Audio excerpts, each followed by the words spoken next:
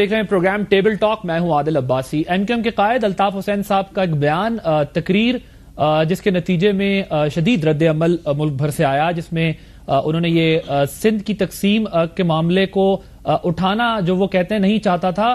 حوالہ دے کر ایک بات کی کہ صوبے سے معاملہ نکل کر ملک کی علیحدگی تک بھی چلا جائے گا۔ ایک خاص پس منظر میں بات کر رہا تھا، اس کا شدید رد عمل دیکھنے میں آیا۔ ملک کی تقریباً تمام سیاسی جماعتوں نے اس پر اپنے رد عمل کا اظہار کیا تو گزشتہ روز جب ایم کیو ایم کے قائد الطاف حسین صاحب نے دوبارہ ایک جلسے سے خطاب کیا جو حیدرآباد کے بعد کراچی میں جلسہ کیا گیا تھا، اس میں انہوں نے کہا کہ اگر حقوق نہیں دینے تو سندھیوں کے لیے ون سندھ ون اور دوسروں کے لیے سندھ ٹو بنا دیا جائے۔ اور اس بات کی بھی وضاحت کر دی کہ نہ سندھ دھرتی ماں ہے، اس کو علیحدہ کرنے کا کہا، نہ ہی کوئی علیحدہ ملک بنانے کی بات کی جا رہی ہے، لیکن یہ ذہن میں رکھنا ہوگا کہ احساس محرومی یا وسائل کی غیر منصفانہ تقسیم ان تمام جو محرکات ہیں اس کا سبب بنتی ہے۔ دوسری جانب سیاسی جماعتوں نے اپنا رد عمل دینا شروع کیا۔ پیپلز پارٹی کی جانب سے شدید رد عمل آیا۔ بلاول بھٹو صاحب نے کہا کہ مر جائیں گے، سندھ نہیں دیں گے۔ ایک پرانا نعرہ ہے ٹالپورس کے زمانے کا۔ سندھ میں جب ٹالپورس کی حکومت تھی اس دور کا جو ہے وہ یہ ایک مشہور نعرہ ہے۔ اور شدید انہوں نے رد عمل دیا۔ اور اس پر بھی کہا کہ no fifty fifty, no number one, no number two کوئی ایسی چیز جو ہے قابل عمل نہیں ہے۔ اور مسلم لیگ نواز کی جانب سے بھی موقف ہم دیکھتے رہے سامنے آیا۔ تو اس پر آج ہم بات کریں گے کہ کیا وسائل کی غیر منصفانہ تقسیم اس حد تک جا سکتا ہے معاملہ کہ علیحدہ صوبوں کی دوبارہ سے بات ہمیں سنائی دے رہی ہو۔ جس طرح پنجاب میں بھی علیحدہ صوبے بنانے کی بات کی جاتی رہی، خیبر پختونخوا کے اندر بھی، اور کراچی کے اندر بھی گاہے بگاہے، سندھ کے اندر کبھی آواز اٹھتی ہے، کبھی دب جاتی ہے، لیکن کلیئر نہیں ہوتا معاملہ۔ یا پھر ہم یہ تصور کریں کہ یہ معاملہ جو ہے وہ اس اس اس تناظر میں دیکھنے کے علاوہ اس کا ایک اور پہلو بھی ہے، وہ یہ کہ اگر غیر منصفانہ تقسیم جاری رہی تو پھر ون اور ٹو کا جو فارمولا ایم کیم کی جانب سے سامنے آیا ہے، وہ کس حد تک قابل عمل ہے؟ اس پر عمل ہو سکتا ہے، نہیں ہو سکتا؟ تقسیم اگر نہیں، تو پھر حقوق کی جو جنگ ہے، اس کا معاملہ کیسے پورا ہوگا؟ اسی پر ہم بات کریں گے، اپنے مہمانوں کا تعارف کرا دوں۔ ہمارے ساتھ اسٹوڈیوز میں موجود ہیں روہیل اصغر صاحب۔ مسلم لیگ نواز کے رہنما، ممبر قومی اسمبلی ہیں، بہت شکریہ آپ کا اپنا وقت دینے کے لیے شیخ صاحب۔ فواد چودھری صاحب، پاکستان پیپلز پارٹی کے رہنما ہیں، آپ کا بھی بہت شکریہ اپنا وقت دینے کے لیے۔ ایم کیو ایم سے ہمارے ساتھ موجود ہیں سید خالد افتخار صاحب کراچی سے ہمارے ساتھ موجود ہیں ان سے۔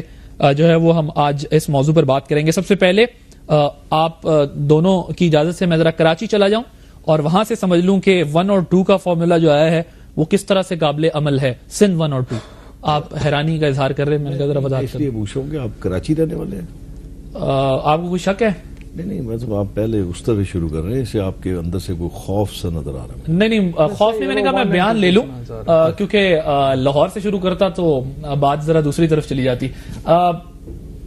خالد صاحب ذرا بتائیے گا یہ ایک تو آپ وضاحت ظاہر ہے اس کی کر چکے ہیں آپ لوگوں کی ملاقاتیں بھی ہو گئیں قوم پرستوں کو بھی آپ نے کوشش کی ہے اعتماد میں لینے کی کہ سندھ کی تقسیم کی بات نہیں کی۔ اب یہ جو ون اور ٹو کا فارمولا ہے یہ کیا فارمولا ہے اور یہ کس طرح سے قابل عمل ہے؟ شکریہ۔ سب سے پہلے تو یہ بات کہ ون اور ٹو کا جو فارمولہ ہے، جس تناظر میں کیا گیا ہے اس کی وجہ سے پہلے ایک جو حیدرآباد کا جلسہ ہوا تھا، اس میں بھی شاید کوئی اسی طریقے سے لوگوں نے، بعض لوگوں نے اپنے اپنے حساب سے اس میں اگر اور مگر ملا کر بغیر جو ہے وہ اس بات کو جو ہے وہ اپنے حساب سے مینوپلیٹ کر کے چیزوں کو پیش کر دیا اور اس کے بعد ایک بحث چڑھ گئی۔ اس کراچی کے جلسے میں الطاف بھائی نے بڑے کلیئر الفاظ میں یہ کہا ہے پیپلز پارٹی کی حکومت سے قوم پرستوں سے تمام لوگوں سے ان افراد سے جو یہ ساری چیزیں جانتے ہیں سمجھتے ہیں کہ کس طریقے سے سندھ میں وسائل کی غیر منصفانہ تقسیم پچھلے کئی ادوار سے چلی آ رہی ہے اور اس کا اس تقسیم کا جو سلسلہ 2008 نہیں رو- 2013 تک؟ وہ جی میں تمام ادوار کی بات کر رہا ہوں میں 2008 سے آپ 13 کا میں- ایرا بھی شا- کا دیکھیں میں پورا میں پورا میں تو سینتالیس سے بھی بات کر لوں گا نا۔ مجھے بات تو کر لینے دے نہیں میری بات کر رہا ہوں احساس محرومی کو اگر ہم صرف اختیارات کی تقسیم تک رکھیں تو وہ زیادہ مناسب ہوگا۔ بنسبت اس کے کہ آپ میری آواز کو بھی جو ہے بیچ میں کٹ کر کے اس طرف بھی جو ہے مجھے احساس محرومی کا شکار کر دیں کہ جو ہے میں اپنی بات تک نہیں پہنچ پا پا رہا ہوں نا۔ بات یہ ہے اچھا اگر اگر ایڈیشنل سوال ہو تو بھی احساس محرومی جو ہے وہ چھلکتا ہے۔ بات یہ ہے کہ بات یہ ہے کہ میری بات کاٹ کے پھر آپ دوسری بات کر لیں گے تو پھر میں مجھے مجھے اس طرف بات سر میں میں ضمن ایک سوال کر رہا ہوں۔ میرا سوال کرنے کا تو حق ہے۔ اگر میں خاموش ہو گیا تو پھر میں بھی احساس محرومی میں چلا جاؤں۔ آپ کا حق سر آنکھوں پر ہے۔ آپ تو ماشاءاللہ سمجھدار ہیں لیکن جو ویور ہیں نا ان کو جو بات پہنچانی ہے ان کو میں بات پہنچا دوں اگر آپ کی اجازت ہوگی تو۔ جی پلیز پلیز گو ایڈ۔ بہت بہت شکریہ۔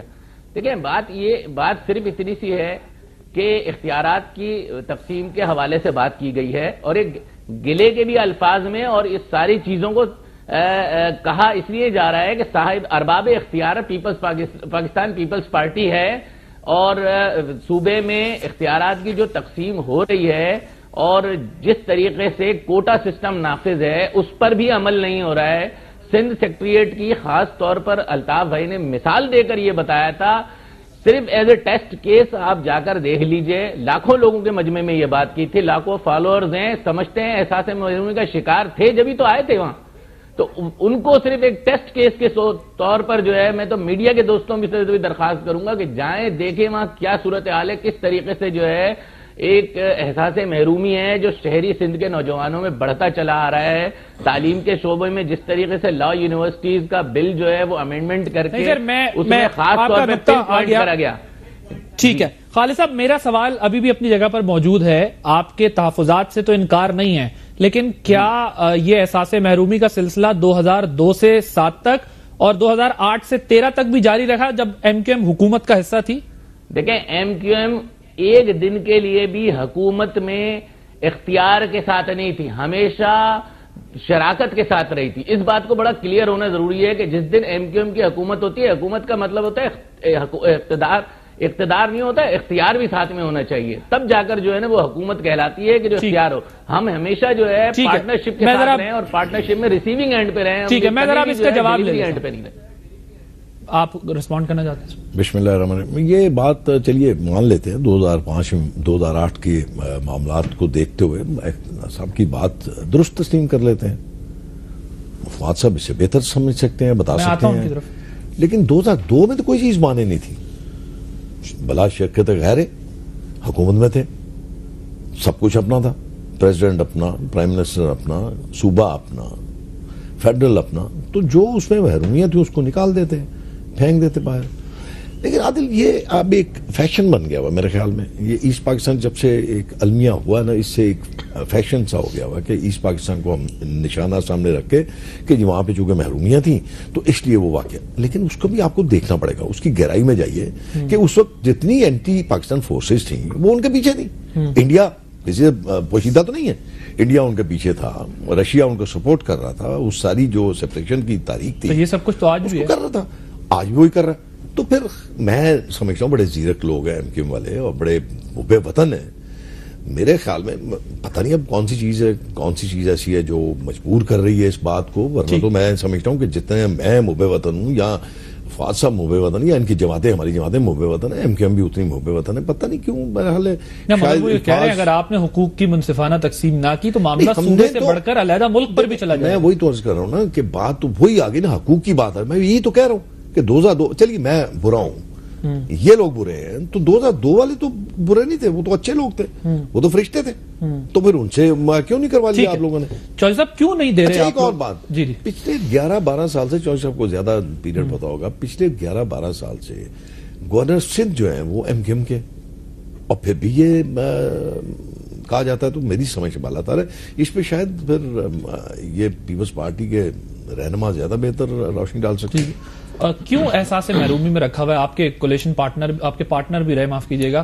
آ، آ، اس- آ، اس کے بعد آ، جو ہے وہ اس وفاق میں صوبے میں پانچ سال۔ اور اب وہ یہ کہہ رہے ہیں کہ جی پیپلز پارٹی جو ہے وہ بتا دے کہ سندھ ون اور ٹو کر لیں تاکہ دیہی شہری یا جو بھی تقسیم ان کے ذہن میں ہے خاکہ تاکہ جو جن کو احساس محرومی ہے، ان کا احساس محرومی دور کیا جا سکے اور بے شک مزے لوٹتی رہے سندھ میں حکومت، کوئی مسئلہ نہیں۔ دیکھیں عادل، بات یہ ہے کہ مجھے تو زیادہ یہ لگتا ہے کہ یہ چائے کے کپ میں طوفان ہے۔ اتنا الطاف حسین صاحب بھی سیریس نہیں ہے جتنا میڈیا نے اس کو لے لیا۔ ایشو یہ ہے کہ دیکھیں پیپلز پارٹی انیس سو ستاسٹھ انیس سو ستاسٹھ سکسٹی ایٹ، سکسٹی نائن میں بنی ہے۔ پچاس سال کی ایک تاریخ ہے پیپلز پارٹی کی۔ یہ حکومت میں رہے ہیں پندرہ سال، سترہ سال اور وہ بھی جس طرح کی رہی ہیں، آپ کو پتا ہے۔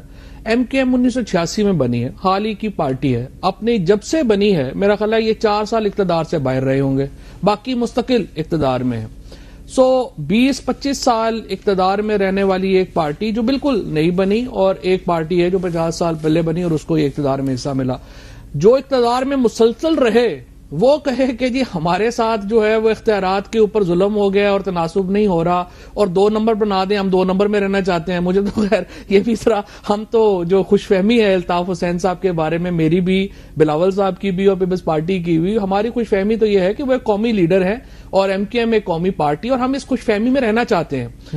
لیکن یہ کہیں کہ ہمیں چار کونسلروں کی سیٹوں کے لیے آپ کہیں کہ ہمیں دو نمبر بنا دیں اور ہم دو نمبر میں رہیں گے، یہ تھوڑی میری بات مجھے سمجھ ہے میرا خیال ہے انہیں اپنا لیول جو ہے، جو وہی جو جہاں پہ وہ ہیں، وہاں پہ اس کے مطابق بات کرنی چاہیے۔ کوئی جھگڑا یہ نہیں ہے۔ اختیارات کا بھی جھگڑا کوئی نہیں ہے، کچھ ایسی بات ہے۔ جھگڑا صرف یہ ہے کہ ایم کیو ایم الیکشن لڑی ہے، جو دو ہزار ایک میں جس طرف شیخ صاحب نے آگے اشارہ کیا، جب پورے اقتدار میں تھے، انہوں نے اپنی مرضی کی ہلکا بندیاں کی۔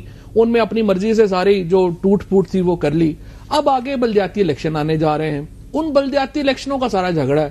یہ چیز صرف مجھے میں سمجھتا ہوں کہ پیپلز پارٹی کی جو صوبائی حکومت ہے ابھی بلاول صاحب نے کل بھی ٹویٹ کیا کہ اگر آپ سمجھیں الطاف حسین صاحب کو کہ آپ کے جو پارٹی کے لوگ ہیں آپ کو کیوں نہیں بتا رہے کہ جب ہلکا بندیوں کی میٹنگ ہو رہی تھی تو آپ لوگ شریک تھے اس میں۔ Uncle Altaf your people are lying to you and came was consulted for delimitation I have the minutes of the meeting shall send you them regards وہ کہہ رہے ہیں میں بھجوا دیتا ہوں۔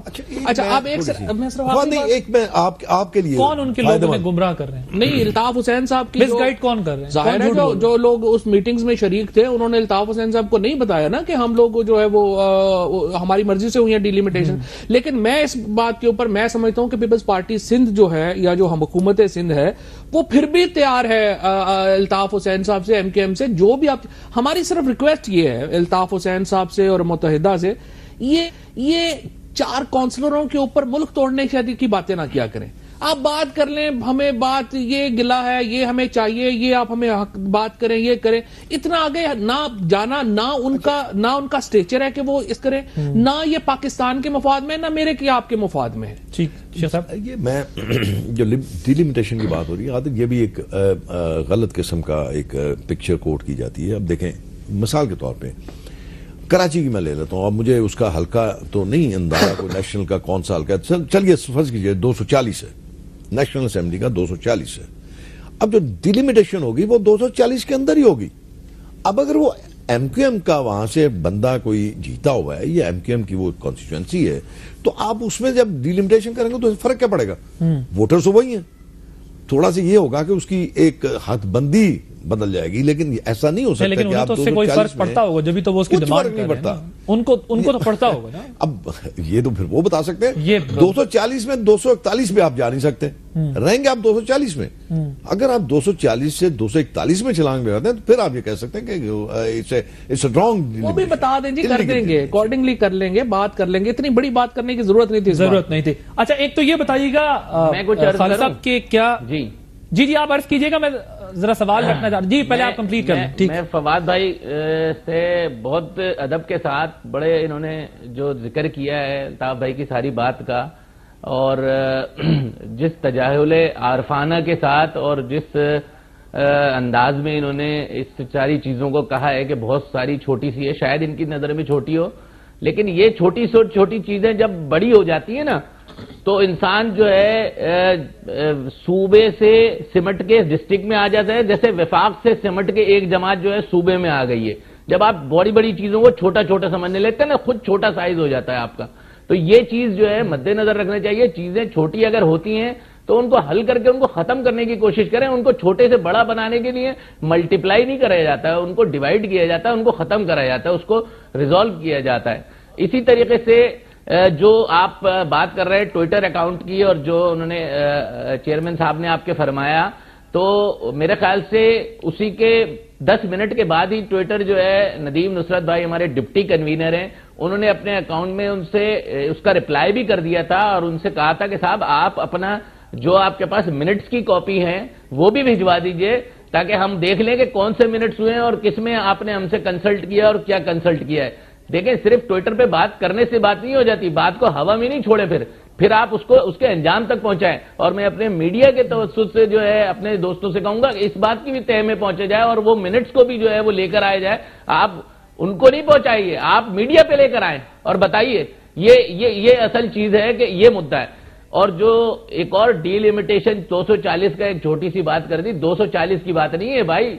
ڈی لمیٹیشن کا اس ججمنٹ جو آیا ہے سندھ ہائی کورٹ کا، اٹھتر صفحات کا خدارا ایک دفعہ اس کو بھی میڈیا میں کسی ٹاک شوز میں لے کر آئے اور اٹھتر الفاظ کے جو ججز نے جو کامنٹ لکھے ہیں اور جو کامنٹ آج پوری تفصیل کے ساتھ اخبارات میں الطاف بھائی کے جلسے کی توسط سے ترجمے کے ساتھ جو ہے وہ پورا اس میں انہوں نے وضاحت کی ہے اور اس میں کیا کیا چیزیں لکھی ہے، کس کس طریقے سے انہوں نے جیری اچھا، مینڈرنگ اپنے اپنے مطلب کا جو ہے خواب میں دیکھ کر میئر لانے کے لیے تو وہ ساری چیزیں جو ہے نا وہ سمجھنے کی ضرورت ہے۔ ان کو ان کو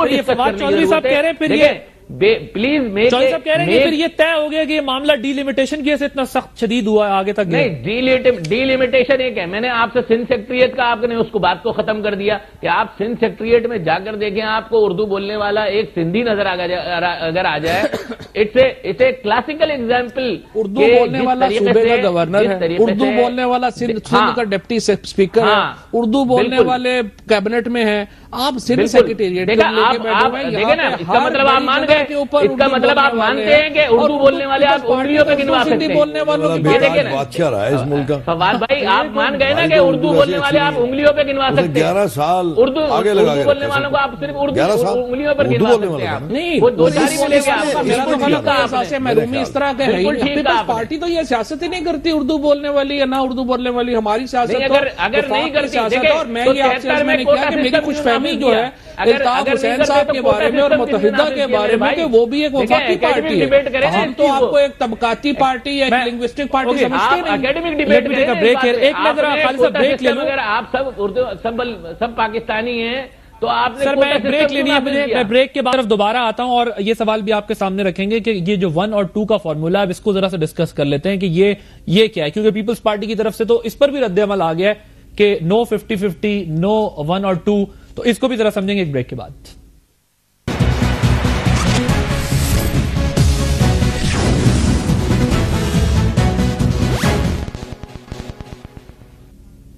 ویلکم بیک بریک سے پہلے ہم بات کر رہے تھے کہ کیا uh, معاملہ صرف uh, ڈیلیمیٹیشن کی حد تک ہے یا پھر جو ایم کیو ایم کا الزام ہے کہ اس معاملے کو غیر سنجیدہ لے رہی ہے پیپلز پارٹی یہ غیر سنجیدہ نہیں، اہم معاملہ ہے۔ لیکن کیا اس نہج تک پہنچنا چاہیے؟ اور جو ون اور ٹو کا فارمولا ہے وہ کس حد تک جو ہے وہ قابل عمل ہے؟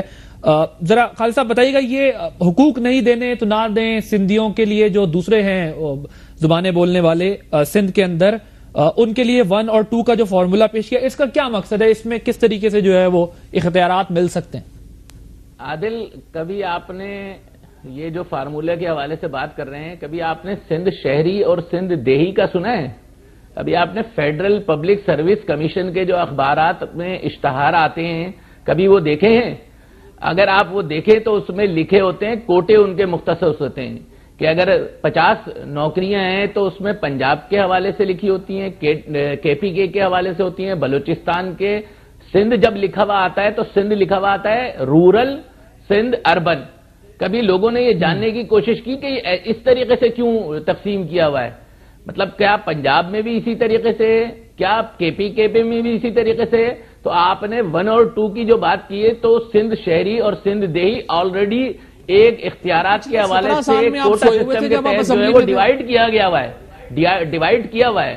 نہ ہم سندھ کی تقسیم کی بات کر رہے ہیں نہ ہم سندھ کے حوالے سے بات کر رہے ہیں ترمیم آئی تھی آپ نے بات کی کہ کوٹا سسٹم نہیں ہونا چاہیے۔ اس سے۔ پہلے تمام سترہ جماعتوں آئی نے- تھی آپ آئے پھر آپ نے ریزولوشن دی آپ نے کیا اقدامات کیے ان سترہ سالوں میں کوٹا سسٹم کی ابالشنگ کے لیے؟ کوئی کسی قسم کوئی ریزولوشن دی ہو کوئی انیشیٹو لیا ہو تو پھر تو سمجھ آتی ہے۔ جی، لیکن یہ اکثر تین سو رہے- تین سو دیکھیں ابھی ابھی تو اس وقت آپ کو آج اگست میں ختم ہو چکا ہے کوٹا سسٹم اس وقت جو ہے فزیکلی پریکٹیکلی جو ہے کوٹا سسٹم کا وجود نہیں ہے۔ لیکن یہ اسمبلی جو ہے وہ پھر کرنے چاہ رہی ہے۔ آج اس پروگرام کے توسط سے کہہ رہا ہوں کہ میں اسٹینڈنگ کمیٹی میں یہ کیس گیا ہے اس کی دس سال کی ایکسٹینشن کے لیے۔ ہمارے جو ایم پی اے ہمارے جو ایم این اے وہاں موجود ہیں اس اسٹینڈنگ کمیٹی میں، انہوں نے اس کو جو ہے مخالفت کی ہے نوٹ کی۔ لوگوں کو سچ بتائیں خدارا اور یہ اب سے نہیں، شروع سے یہ بات کی جا رہی ہے۔ کہ خدارا ملک میں میرٹ کے حوالے سے جو ہے لوگوں کو روزگار دی جانی جانی چاہیے لوگوں کو سہولت دینی چاہیے۔ ان کے قابلیت کی بنیاد پر جو آرٹیکل تین اور چار کہہ رہا ہے آپ کا کانسٹیٹیوشن کا اسٹارٹ میں یہ بات کی جا رہی ہے۔ تو یہ یہ چیزیں جو ہے یہ بنیادی چیزیں ہیں۔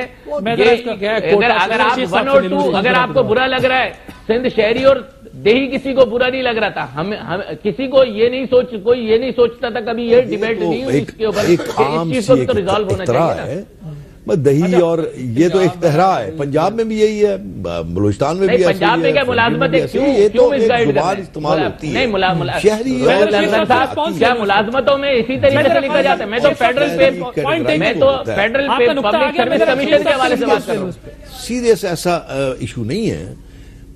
شہری اور دیہی کی تقسیم جو ہے وہ اتنا آپ۔ کہہ رہے ہیں سنجیدہ یہ مسئلہ نہیں سنجیدہ مسئلہ نہیں ہے عادل۔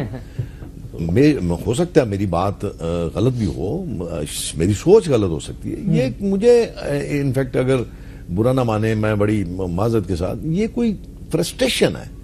کوئی انٹرنل ایکسٹرنل کوئی اندرون ملک بیرون ملک فرسٹریشن ہے جو نکل رہی ہے۔ ویسے میرے سامنے جو نظر چیز آتی ہے برسا برسے اس پہ کوئی شک نہیں۔ ایک فورس ہے کیا force سکتی ہے یہ تو اب آ، بہتر سمجھتے ہیں یا دو چار روز میں کوئی سامنے آ جائے گی چیز سامنے باہر آ جائے گی وہ چھپی تو رہ نہیں سکتی۔ تو کیا انٹرنل جو مجھے سمجھ آ رہی ہے نا جو عادل برسا برس سے کراچی حیدرآباد ان شہروں پہ ایم ایم کا بالکل پولیٹیکل ایک گرپ رہی ہے دیکھیں۔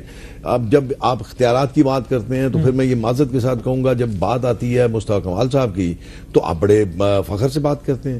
کہ کراچی کو بنا دیا۔ جب حیدرآباد کی بات آتی ہے تو آپ کہتے ہیں ہم نے حیدرآباد کو بنا دیا۔ انہوں نے یہ کہا ہے کہ اگر آپ ہمیں منصفانہ تقسیم کریں یا میں ذرا گزارش ایک ضمن سوال کر رہا ہوں کہ اگر آپ ہمیں دے دیں تو ہم لوگ خود فیصلہ کر لیں گے کہ ون اور ٹو میں کون عوام کو ڈلیور کر رہا ہے۔ بے شک پیپلز پارٹی مزے لوٹتی رہے دوسری طرف حکومت کرتی رہے لیکن ہمارے اختیارات ہمیں جواب آپ نے پورا نہیں سنا۔ عرصہ دراز کے بعد دو ہزار تیرہ میں پہلی دفعہ یہ ہوا کراچی میں کہ اب ووٹوں کی تقسیم ہوئی ہے۔ کچھ دیگر سیاسی جماعتوں نے بھی اپنا حصہ وہاں پہ ڈالا ہے۔ اور اب وہ جو زمانہ تھا کہ دو لاکھ ووٹ مل گئے اور سامنے والے کو دو ہزار یا ہزار مل گیا یا پانچ سو مل گیا، وہ ویسا اب نہیں ہے۔ اب بہت سی پی ٹی آئی نے وہاں سے کچھ چھین لی ہیں سیٹیں مسلم لیگ کو بھی حصے میں آ گئی۔ ٹھیک ہے پیپلز پارٹی نے کوئی وہاں سے گین تو نہیں یہ اس کا؟ لیکن میرا اپنا ذاتی خیال ہے۔ میرا میں ہو سکتا میں غلط بھی کہہ سکتا ہوں کوئی ضروری نہیں میری بات میں کوئی اتنا دم بھی ہو لیکن میرا اپنا ایک ذاتی خیال ہے کہ اس میں دیکھیں میں نے جو بات کی ہے کہ ایک دور یہ تھا جب دو دو لاکھ ووٹ ملتا تھا۔ اچھا ایک ایک میں ذرا شیخ صاحب ایک چیز ذرا کلیئر کریں نا کیونکہ کنفیوز ہم اس طرح ہوتے ہیں کہ پیپلز پارٹی سندھ میں تو کہتی ہے کہ تقسیم برداشت نہیں ہے۔ پنجاب میں کہتے ہیں صوبے بننے چاہیے نہیں، نہیں، پنجاب میں نے ذرا- کب انکار کیا تھا؟ میں ذرا گزارش کر لوں نا آپ سے اب اگر مجھے یہ بتائیں ایم کیو ایم کا علیحدہ صوبے کا مطالبہ درست آپ نکال دیجیے؟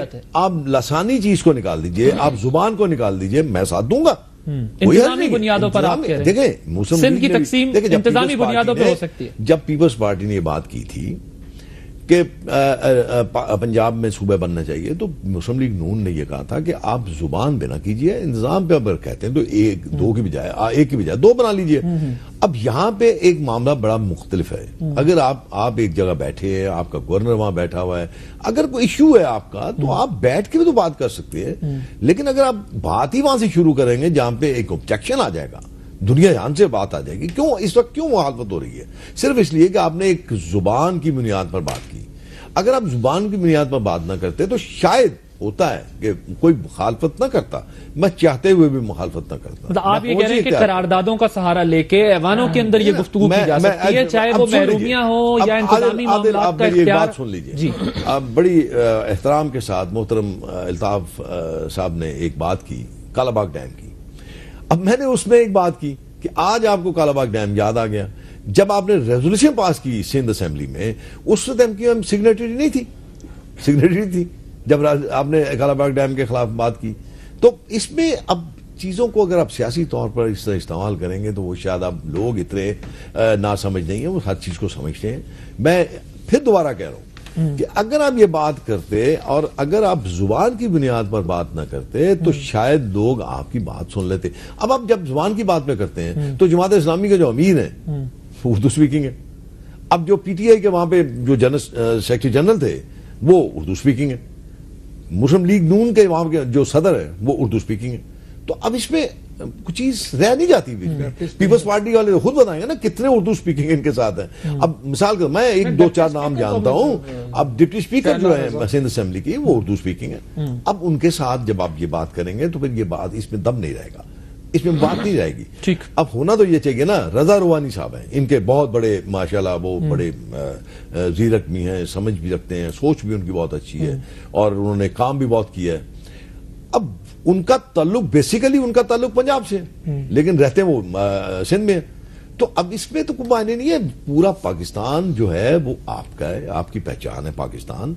صرف اس میں اگر آپ زبان کی بنیاد پر کریں گے تو پھر میرے خیال میں شاید آپ کو مخالفت کا سامنا کرنا پڑے ٹھیک فواد چودھری صاحب۔ جی پہلی بات تو یہ ہے جو بات کر رہے ہیں ایم کے ایم کے ہمارے دوست پہلی بات تو یہ ہے کہ یہ جو بات ہے نا ان کی غلط فہمی ہے کہ دو نمبر صوبے میں دو نمبر طریقوں کے ساتھ پہلے کبھی اگر آ گئے تو وہ وہاں پہ آ جائے گا۔ اب وہاں پر بھی گرپ جو ہے وہ کمزور ہو رہی ہے۔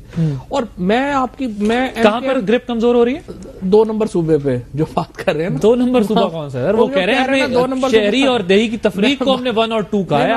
دو نمبر صوبہ دو نمبر دو نمبر پتہ نہیں کیا ہو گیا۔ میں ان سے یہی کہنا چاہتا ہوں دو نمبر پہ نہ رہے ایک نمبر میں ہی رہے ایک نمبر صوبہ ہے ایک نمبر ہے۔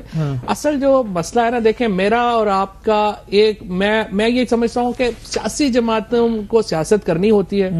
انہیں اپنے ایشوز بھی چاہیے ان کو ایکسپلائٹ کرنے کے لیے ان کے اوپر کرے۔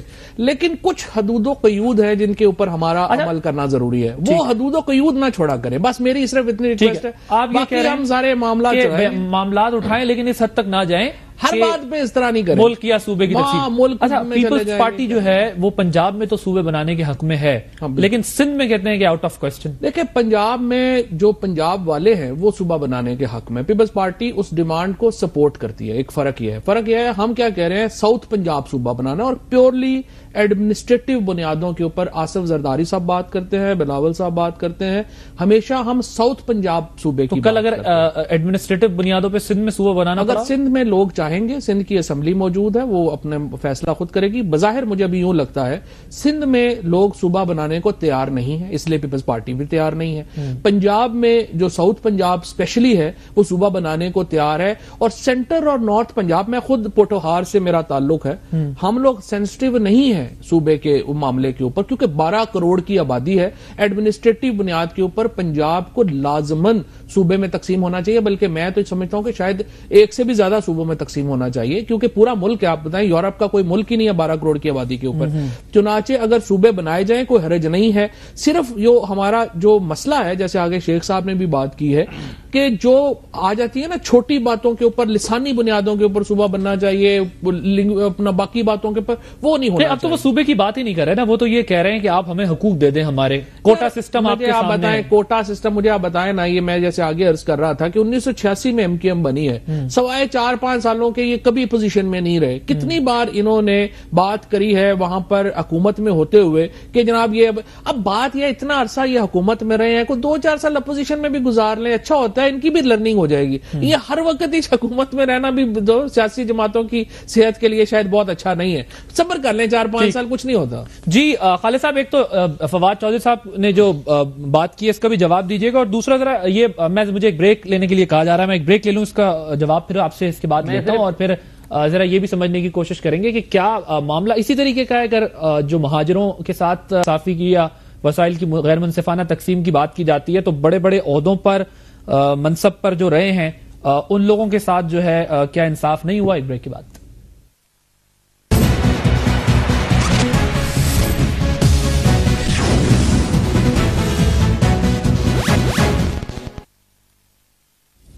پروگرام میں ایک بار پھر خوش آمدید ناظرین جی خالد صاحب ایک تو یہ فواد چودھری صاحب یہ کہہ رہے ہیں کہ آپ لوگ ایک طویل عرصے سے حکومت کا حصہ ہیں اور یہ معاملات اس طرح سے بھی حل کیے جا سکتے تھے۔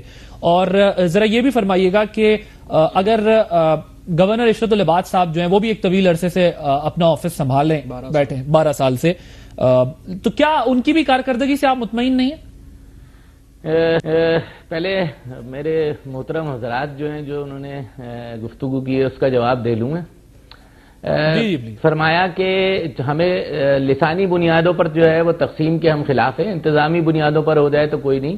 لیکن جو جنوبی پنجاب کا جس کو کہہ رہے ہیں وہ سرائی کی بیلٹ کہلاتی ہے۔ سرائی کی صوبے کے حوالے سے تاج محمد لنگا صاحب نے بیسیوں سال اس کے لیے جدوجہد کی ہے اور اسی کے اور وہ خالصتاً جو ہے زبان کی بنیاد پر ہے، لسانیت کی بنیاد پر ہے۔ اسی طریقے سے ہزارہ میں بھی جو صوبے کی تحریک چل رہی ہے، وہ بھی پختونخوا جو ہیں، پشتون بھائی ہیں، ان کے ساتھ جو ہزارہ وال برادری رہتی ہے، ان کی طرف سے اور وہ بھی خالصتاً لسانیت کی بنیاد پر ہے۔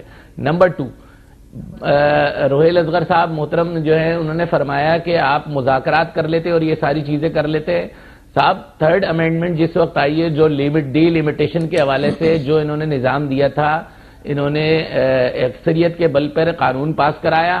ہم نے ان سے متعدد دفعہ کہا کہ صاحب، یہ غلط ہے، یہ زیادتی ہے۔ نہ اسمبلی میں بات سنی، نہ اسمبلی کے بعد بات سنی ہماری۔ مجبوراً ہمیں عدالت کا دروازہ کھٹکھٹانا پڑا اور عدالت سے ہمیں انصاف ملا ہے۔ تو مذاکرات کی تو کوشش بہت کی گئی تھی، لیکن وہی بات کہ جو ہے، وہ بڑے حضرت جو ہے ہمارے کپتان صاحب، انہوں نے ہمیں اتنا موقع ہی نہیں دیا کہ ہم کوئی اس بات کے اوپر اپنی جو ہے، وہ اکیڈمیکلی جو ہے، کوئی بات کر لیتے، کوئی لاجک کے اوپر ان کو سمجھا لیتے اور وہ مان جاتے تو اس طریقے کا فیصلہ نہیں تھا بات، آخری بات فواد بھائی نے بڑا اچھا مشورہ دیا اپوزیشن میں رہنے کا۔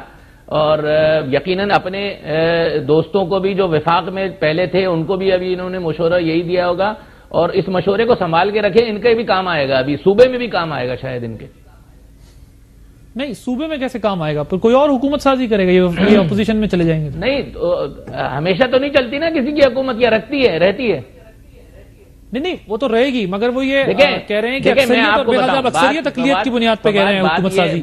یا اپوزیشن میں آخری بات کی تھی نا کہ بہت عرصے بعد ایم کے اپوزیشن میں آئی ہے طویل عرصے کے بعد۔ ہاں، ہاں۔ تو کچھ عرصہ اپوزیشن میں بھی رہ لے کو مگر وہ آپ کو کہہ رہے ہیں کہ آپ بھی اپنا ذہن بنا لیں تو آپ اپوزیشن میں تو ابھی جان سکتے ہیں ظاہر ہے۔ آپ تو پارلیمنٹرین میرے خیال سے شاید رہے نہیں ہیں۔ جو پارلیمنٹ کے دوست ہیں ان کو مشورہ دے دیجیے ایسا مسئلہ نہیں۔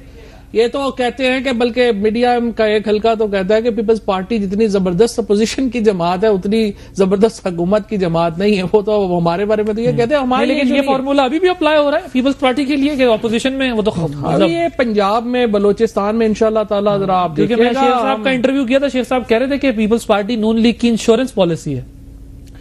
یہ تمام سیاسی جماعتیں ایک دوسرے کی انشورنس پالیسی ہے ایسی بات نہیں اچھا اور اگر اچھا بڑا آپ نے دلچسپ جو ہے وہ آرگیومنٹ دیا۔ کہ اگر ہم اگر ایک سٹیک کی نا بات تو کیا ہم یہ بھی مان لیں کہ اب ساری سیاسی جماعتیں جو ہیں وہ مشرف صاحب کی سم ہاؤ انشورنس پالیسی بن رہی ہیں؟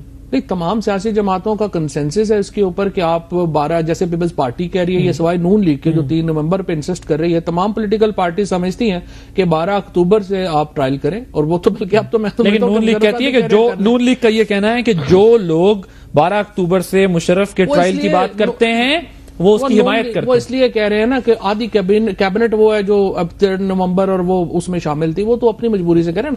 ہر پارٹی کی اپنی مجبوریاں ہوں گی اس کے مطابق وہ اپنی پالیسی بناتی ہے۔ نون لیگ کی بھی یہی پالیسی ہے۔ ظاہر ہے اس وقت وہ مارشل لا کے اور نون لیگ تو خیر مارشل لا کی پیداوار ہے اس میں تو کوئی دو رائے نہیں ہے۔ میں ذرا خالد صاحب ذرا ایک تو یہ بتائیے گا کہ کیا آپ گورنر صاحب بارہ سال اپنے آفس میں رہے ان کی کارکردگی سے آپ مطمئن ہیں کہ انہوں نے جو ہے وہ صحیح سرو کیا ہے اپنا؟ گورنر صاحب جو اپوائنٹ کیے جاتے ہیں وہ صدر مملکت کی طرف سے اپوائنٹ کیا جاتا ہے اور مسلم لیگ نون والے بھی اقتدار میں وفاق میں اور اس سے پہلے پانچ سال پیپلز پارٹی والے اقتدار میں جب چاہیں جس طریقے سے باقی تین گورنرز کو انہوں نے ہٹا دیا تھا مسلم لیگ نون نے جواب لے لیجیے ہٹا دیں ہمیں کوئی اعتراض نہیں ہے۔ یا پیپلز پارٹی نے کیوں نہیں ہٹایا؟ ان سے جواب لے لیں ہمیں کوئی اعتراض نہیں ہے پا- کیوں نہیں ہٹایا جس طریقے سے غیر جانبداری تھے گورنر صاحب اپنا آفس چلا رہے ہیں؟ اس کے آفس سے آپ کے نہیں ان رہے، کے اپنے لوگ مطمئن ہوں گے نا۔ مجھے آپ نہیں، بات بتائیے۔ کہ دیکھیں ہاں۔ آپ کو جس نے جو اپوائنٹنگ اتھارٹی ہے جب وہ آپ سے مطمئن ہے اور اس مطمئن ہے کہ وہ غیر یہ جانبدار رہے ہیں۔ ان کا کردار غیر جانبدار رہا ہے۔ لیکن صدر آپ کے موجود تو وہ ہٹا سکتے ہمارے اوپر یہ بات ہے کہ پہلی بات یہ جو ہے کہ انٹرسٹنگ بات یہ میرے خیال میں جو بن رہی ہے ان سے یہ ایم کیو مجھے مطمئن نہیں لگ رہی اس پاکستان میں ایسا لا کر دکھا دے آپ کی حکومت وہ کہہ رہے ہیں آپ ایسا گورنر لا کے دکھا دیں پورے پاکستان۔ زبردستی کوئی کسی نے تھوڑی رکھا ہوا ہے۔ آپ کہہ رہے ہیں کہ وہ جو کنٹینیو کر رہے ہیں وہ ان کی مرضی کے بغیر کر رہے ہیں۔ ان کی نہیں نیوٹرلٹی یہ دنیا مانتی ہے یہ پورے پاکستان میں جتنے بھی کراچی میں اشرت community صاحب کا میں تو خیر ذاتی طور پہ فین ہوں وہ کوئی مسئلہ نہیں ہے۔ ان کی مجھے بڑی احترام ہے۔ اور یہ بھی ٹھیک۔ نہیں نہیں میں تو مانتا ہوں جی ٹھیک میں ہے۔ تو ذاتی میں ذرا مظہر عباس صاحب سینئر اینالسٹ اس وقت ٹیلی فون لائن پر ہمارے ساتھ موجود ہیں ذرا ان کی طرف جاؤں گا۔ مظہر صاحب السلام علیکم۔ وعلیکم السلام۔ اب آپ کے ساتھ جو پچھلی گفتگو ہو رہی تھی بجائے اس کے کہ میں وہ کروں اگلا سوال یہ ہے آپ سے کہ ایک طرف تو ظاہر ہے یہ ڈبیٹ ہے صوبے ملک علیحدگی کی اور حقوق کی دوسری طرف جو ہے وہ مشرف صاحب کا ٹرائل اور سارا معاملہ۔ لیکن کیا یہ سب معاملات ایک عام تاثر یہ بھی ہے کہ توجہ ہٹانے کے لیے ہیں یا واقعی جینون پرابلمز ہیں جو ایڈریس کی جا رہی ہیں؟ آ، حقوق کے آ، آ، وسائل کا مسئلہ ہو حقوق کا مسئلہ ہو یا پھر آئین اور قانون کی بات؟ نہیں دیکھیں پرابلمز تو ہیں اپنی جگہ اس میں تو وہی نہیں اصل چیز یہ ہے کہ ان پرابلمز کو آ، جس کس ٹائم پہ اٹھانا چاہیے اور کس ٹائم پہ نہیں اٹھانا چاہیے یہ بھی اپنی اپنی جگہ اہم ہے کیونکہ یہ ایشوز تو کوئی آج کے نہیں ہیں ایشوز پرانے ہیں۔ ان ایشوز کو کتنی مرتبہ ایڈریس کیا گیا؟ ان ایشوز پر ظاہر ہے جو مانڈ کر رہے ہیں، ان کے وہ بھی اس کا پاور کا حصہ رہے ہیں۔ ایم کیو ایم کوئی تقریباً دس سال تو ڈائریکٹ پاور کا حصہ رہی ہے، پانچ سال مشرف صاحب کے ساتھ اور پانچ سال زرداری صاحب کے ساتھ۔ تو بہت سے ایشوز ایسے تھے جو وہ سارٹ آؤٹ کر سکتے تھے اور اگر اتنی اگریسولی جتنی اگریسولی اب بات کی گئی، اتنی اگریسولی اس وقت بات نہیں کی گئی، لیکن جو ڈیمانڈ ایم کیو ایم کر رہی ہے، جو بات ایم کیو ایم کر رہی ہے، بہت سے ایشوز ایسے ہیں جو ایشوز ریزالو ہو سکتے تھے۔ مثلا یہ کہ کوٹا سسٹم کا جس طرح مسئلہ ہے، یہ بات ٹھیک ہے۔ ذوالفقار علی بھٹو نے جب کوٹا سسٹم دس سال کے لیے کیا تھا، تو اس کی اسپرٹ جو تھی، وہ یہی تھی کہ سندھ میں چونکہ سندھ نگلیکٹڈ رہا ہے، تو لہذا سندھ کے لوگوں کو جو ہے، وہ زیادہ سے زیادہ جابز دی جائیں اور ایک نئی مڈل کلاس جو ہے سندھی، وہ کھڑی کی جائے۔ شاید اس کی امپلیمنٹیشن پہ کوشچن ہو سکتا ہے، لیکن اس کی جو اسپرٹ تھی وہ بری نہیں تھی۔ لیکن انفارچونیٹلی ہوا دوسری طریقے سے۔ ہوا یہ کہ دس سال کے بعد پھر جنرل ضیاء کا دور آیا۔ انہوں نے اس کو وہ ایکسٹینڈ کرتے چلے گئے۔ اور اس کے بعد بھی جو ہے، جتنے بھی ادوار رہے، ان ادوار میں نہ تو رولر سندھ کا جو سندھی تھا، ایک عام سندھی تھا، اس کو اس کوٹا سے، کوٹے سے فائدہ پہنچا۔ کیونکہ اس کوٹے کا استعمال بھی فیوڈلز کے بیٹے بیٹے بیٹیاں کیا کرتے سیاسی تھے؟ بنیادوں پر ہو گیا۔ سیاسی بنیادوں پر سیاسی بنیادوں پر بھی انفلوئنشل کو زیادہ فائدہ ہوا جس جو اس کا اصل مقصد تھا وہ نہیں پورا ہو سکا۔ ٹھیک۔ مطلب صاحب مطلب وقت کی وقت کی کمی کی وجہ سے میں ایک اور ضمن سوال صرف اسی طرح عادل ایک جیسے حیدرآباد یونیورسٹی کا معاملہ ہے۔ جی۔ اول تو یہ یہ پولیٹیکل ایشو نہیں ہونا چاہیے یہ ایجوکیشنل ایشو ہونا چاہیے۔ گورنمنٹ اگر کراچی میں دو مزید گورنمنٹ یونیورسٹیز بنا سکتی ہیں لیاری یونیورسٹی اور سندھ مدرسہ اسلام تو حیدرآباد یونیورسٹی بھی بنا سکتی تھی اور اسی طرح ایم کیو ایم جو ہے کم سے کم مشرف صاحب کے پیریڈ میں تو حیدرآباد یونیورسٹی بن سکتی تھی۔ میں میں ذرا میں مدر صاحب آپ کی موجودگی کا فائدہ اٹھاتے ہوئے ذرا بالکل وقت ختم ہو گیا ہمارے صاحب اگر مختصراً آپ بتا سکیں کہ کیا دس سال کا عرصہ کافی ہوتا ہے اس قسم کے معاملات کو ایڈریس کرنے کے لیے یا ناکافی ہوتا ہے؟ اور پیپلز پارٹی بھی اگر سنجیدگی سے کوشش کرے تو اس طرح کے مسائل حل ہو سکتے ہیں کہ نہ کہ بات صوبوں اور ملک کی علیحدگی تک جائے؟ مدر صاحب آپ کو میری آواز آ رئی ہے؟ جی جی جی جی۔ جی میں یہ عرض کر رہا تھا کیا دس سال جو اگر ایم کیو ایم حکومت میں شامل رہی ہے بڑی پاورفل پارٹی تھی اس زمانے میں حکومت کے ساتھ تو ذرا یہ فرمائیے گا کیا ناکافی تھا یہ عرصہ اس مسئلے کوٹے کے مسئلے کو حل کرنے کے لیے یا جو معاملات انہوں نے اٹھائے ہیں؟ نہیں میرا خیال ہے دیکھیں پروونسز کی اگر سیپریشن کی بات کریں تو وہ تو ظاہر ہے وہ شاید کسی کے لیے ایکسیپٹیبل نہ ہو اور اس سے اس سے بڑا خون خرابہ بھی ہو سکتا تھا۔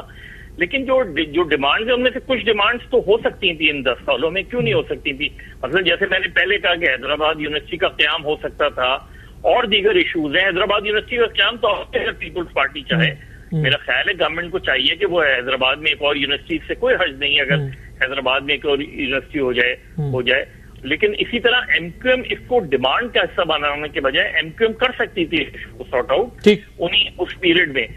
تو میرا خیال ہے کچھ ایشوز تو ہو سکتے تھے بالکل ریزالو ہو سکتے تھے۔